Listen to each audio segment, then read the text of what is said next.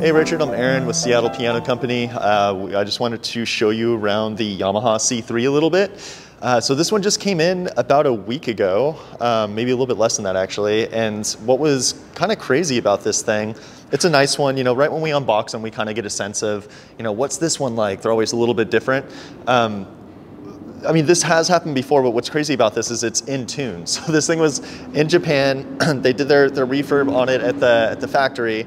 They tuned it, they put it in a crate. That crate went into a shipping container. That shipping container went from Japan to, uh, to Los Angeles.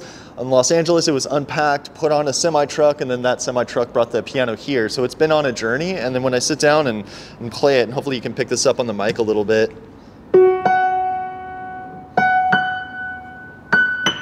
So right now I'm playing octaves. So when I hit these two keys together, they're in harmony together. They, uh, they, they sync well, but um, if the piano's out of tune, you hear it like very wavy.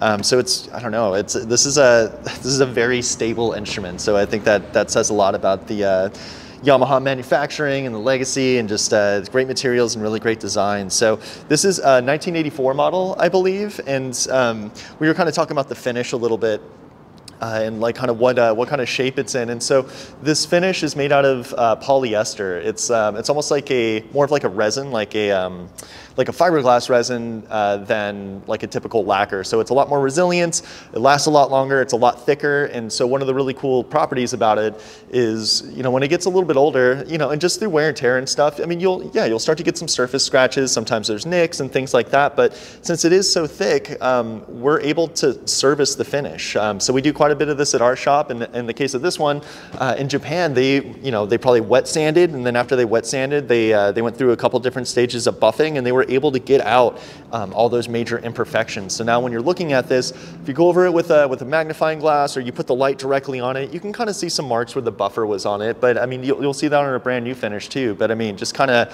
approaching this piano and looking at it and seeing the brass hardware like all, all shiny, um, which they also polished every piece of brass hardware on here, um, and just looking at every part of the finish, I mean, it is really indistinguishable from a brand new piano. Um, so like even looking at like this brass hinge over here, come take a look at the front of this thing. So I mean, all of these screws were taken out, like this whole um, hinge was taken off and, and buffed on a, on a machine. So I mean, it's, you know, it, it's really, really hard to tell this from a, from a brand new piano. And then, uh, you know, it looks great, right? But that's only only half of it, or some of it. Um, the the other thing is the condition of the interior, how it sounds, how it plays, that sort of thing. And so, this is a refurbished model. And so, when we say refurbished, what um, what I mean is, uh, some of the parts have been replaced, not all of them. Um, they pretty much took what was there and made it as nice as possible. So it's the original finish. They took what was there, made it as nice as possible. Um, they have uh, brand new damper felts uh, put in there. So those dampers are brand new. Um, it has a brand new back action as well. Um, in Japan, these were sold with uh, with a two pedal lyre, and also in Europe with uh, with two pedals on the lyre instead of three.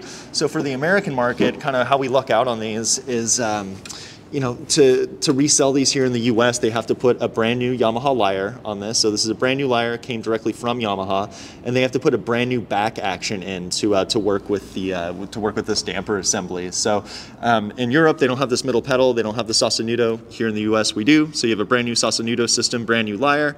Um, while you're down here, check out these uh, these casters are really nice too. I mean, they do really great detail work looks like they kind of machined those down to, to be perfect again and then, uh, then polished them as well. But anyway, um, so yeah, so it's got original strings. So all these strings are original to the piano. All these tuning pins are original to the piano.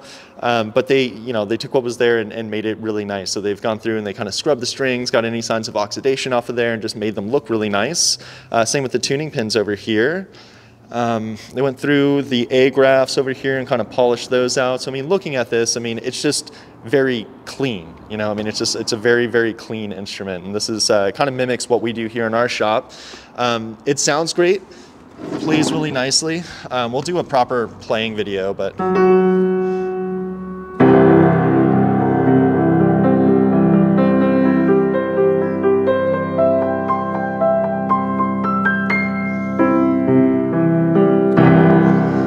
Really strong bass. Um, the treble's nice and clear, but it's not uh, percussive and bright. Sometimes um, pianos in general, Yamaha, Steinways, it's like any any brand. It doesn't have much to do with quality all the time, but um, so, sometimes pianos are overly bright and they kind of sound tinny and it almost like hurts your ears to listen to it. Uh, this piano is very clear. Um, so it's, uh, it's, so it's, it's bright in the way that it just um, has like a very clear tone, which is what I really like. And the bass is just super strong, very resonant. Um, the soundboard is perfect. There's no cracks. The bridge is perfect. There are no cracks. Uh, that's always really important. Um, I'm going to pull the action out real quick so you can kind of see the condition of that too. And I know you're not a piano technician. It sounds like you uh, have piano technicians in the family though. And uh, you can almost just visually see what kind of condition the, uh, the inside is in. Um, pianos that are really old or pianos that have been in like um, extreme humidity, um, you, you can kind of, like the wood gets discolored. Um, and on this one, the key sticks are really clean, um, the felts on the hammers are really clean, the shanks are really clean. Um, it's, uh, it's just been well cared for, and uh, I can tell it's never been in a, an environment where there's been um, untreated climate control, extreme humidity, that sort of thing, which can uh, adversely affect the wood, unfortunately. I just got one more piece to take off, and then I'll slide this action out.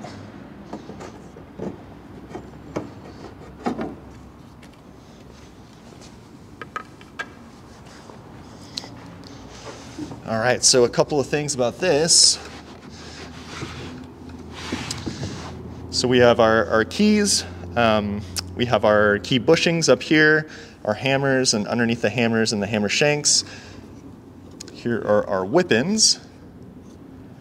So you can see that these felts are nice and bright. The wood, uh, the wood isn't discolored. It kind of has like that nice lighter look to it. Um, the knuckles are in really great shape, um, nice and nice and soft. Sometimes they can get really hard and that'll start to make noise or they'll get really worn down. Uh, the, this is where the piano gets most of its wear. And looking at these, they, they look great. They look really nice. Totally, totally acceptable. Um, on the hammers, these are the original hammers. Hammers can last a really long time, and when they get played a ton, they get really deep grooves in, into the uh, the tip of the hammer here. And so, um, you know, hammers get grooves. It's it's just you know part of the piano. The the strings are a lot. Um, are a lot harder than the than the felts are on the hammers. So what they have done in the factory is they have shaped the hammer. So they took a very small layer of felt down to give the hammer a brand new strike point and make that nice and clean. That also kind of helps give the uh, the piano a more well-rounded, less bright tone. And so when a piano's been played a lot, those string grooves are really deep. And then if it's um, you know if you shape the hammers like a million times, I mean there's the hammers are meant to be shaped you know, within the lifetime of the hammer, but it, you know, you shape them 20 times, there's not going to be much left. So what I always look for is how much uh, how much we have left between the core of the hammer and the tip of the hammer, and uh, there's there's plenty of meat left on there. I mean, they, they don't look like they've been played or shaped within an inch of their life by any stretch. So there's uh, lots of life left in these hammers. Um, one of the other wearable parts on a piano are these key bushings right here. And the guy that's behind the camera, uh, my right hand man here at the shop, has been replacing a lot of these lately. And so it's just kind of good practice um, to replace these. And so this is a very specific felt, um, and it's not the same on every piano and every model. It just kind of has to deal with, uh, has to do with how big the cavity is here, or the, the mortise of the key, and then um, how big that pin is. And we want a very snug but not tight fit. And so uh, what, what's that, what that has done, them replacing those, and then also under here, they've done the same thing. They also replaced all these felts, so we have a nice uh, pillow for the for the key to land on.